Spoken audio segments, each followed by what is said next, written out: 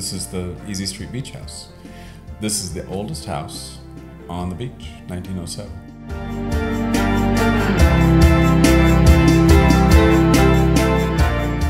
There's a lot of Easy Street memorabilia in here and a lot of Northwest artifacts.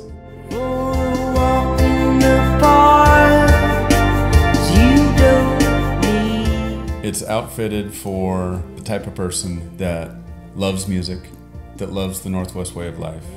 This is the birthplace of Seattle here, Alki. And Easy Street is only a mile away from here. Uh, this house has been in the Easy Street family for the last 20 plus years. And we finally retrofitted it, but modernized with an Easy Street approach.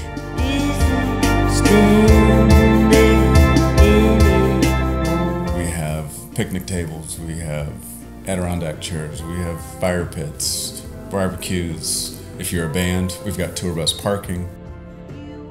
We're looking forward to hosting you. We're looking forward to hosting your family. We're looking forward to hosting record labels and bands, and we want this to be accommodating for not just your friends and family, but for your musical needs too.